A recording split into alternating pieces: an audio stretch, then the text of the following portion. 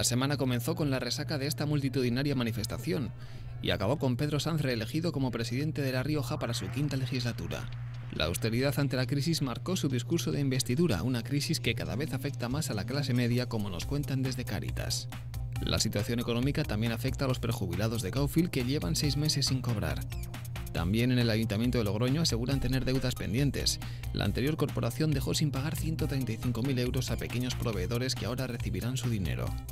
Mientras tanto, continúan las movilizaciones de los indignados y varios representantes riojanos se unirán a la marcha que llegará a Madrid el 23 de julio. Una semana en la que también tenemos que lamentar un nuevo accidente laboral, el fallecimiento de un trabajador de 45 años que cayó de una altura de 10 metros trabajando en la empresa logroñesa Vinagrerías Riojanas. Pero no todo son malas noticias. Esta semana saludábamos al verano, un periodo que será más cálido de lo normal, lo que invita a salir a la calle, a citas como el Riojano Joven y Fresco, un nuevo éxito, en este caso en la zona de Siete Infantes de Lara. Y nos quedamos con una imagen, la de los seis pollitos que contra todo pronóstico nacieron en la Catedral de Santo Domingo de la Calzada.